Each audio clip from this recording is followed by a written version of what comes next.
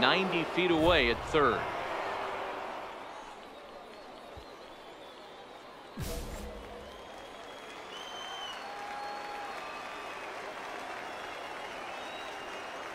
Here's the first pitch to him.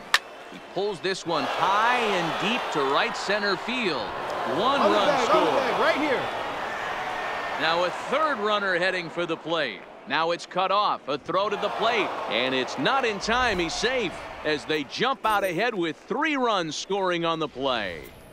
Bases loaded, and he was looking to drive them all in the second he stepped into the box.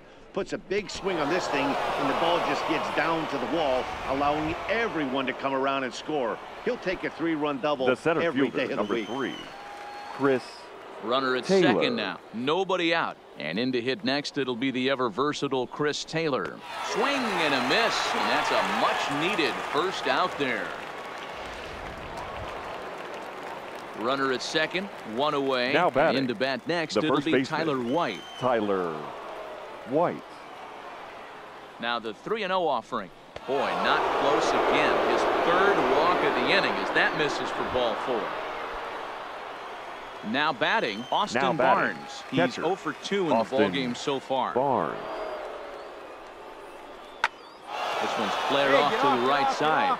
And that's going to fall for a base hit.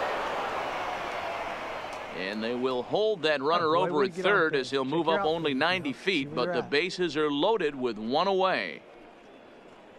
Boy, not the prettiest of swings, Dero. That looked a little bit from the Vladimir Guerrero book, but nonetheless, Now he got the job done. Yeah, Number a little nine. choking poke right there. He flipped the bat out there and was able to find a little empty green grass. Not pretty, but he'll take it. Waiting on it is Kemp. He's got it, and there are two down now. And they'll extend their lead even further as the runs in to score from third. It's now an 8 to 5 game. Obviously, he's hoping for more up there with the base.